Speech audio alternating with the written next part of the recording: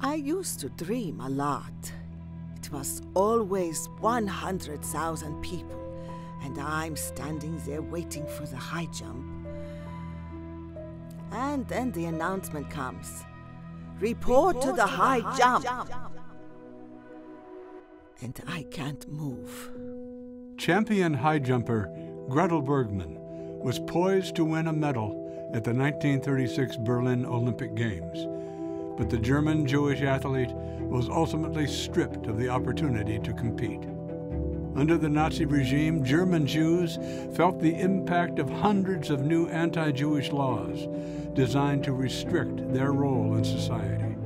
These new restrictions meant that Gretel was forbidden from entering training facilities in Germany, even though she was one of the top athletes in the country.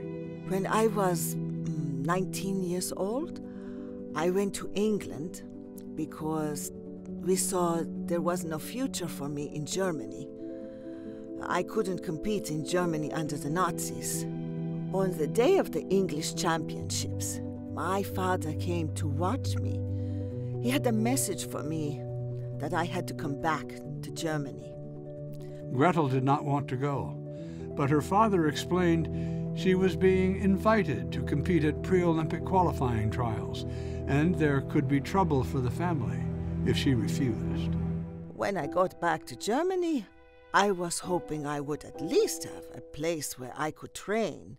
But the fact that I was a member of the German Olympic team did not allow me to use any of the stadiums. I was still a Jew. As Germany abandoned democratic values, Americans began to question the morality of supporting the 1936 Games. There were heavy debates in the U.S. about boycotting the Games. In response, German authorities assured the United States Olympic Committee that Jewish athletes would be treated fairly, ultimately convincing the U.S. to compete. The final trials for the German Olympic team took place in June 1936, just two months before the Games. Gretel competed in the high jump. I figured if I give up, then they would say, I'll see what happens to Jews. They are not worth a damn. And I told them, I'm going to teach you guys a lesson whether you like it or not. And I did. At the trials, Gretel equaled the German women's high jump record of 1 meter and 60 centimeters. She was officially one of Germany's best female high jumpers. Despite her record, the Nazis had no intention of allowing Gretel to participate in the Olympics. I got a letter two weeks before the Olympics started that told me that I wasn't good enough and I wouldn't be able to compete. the letter read Looking back at your recent performances, you could not possibly have expected to be chosen for the team. They waited until the Americans were on the way to come over. They told them that I was injured, and that's why I couldn't compete. And that was all a lie, of course.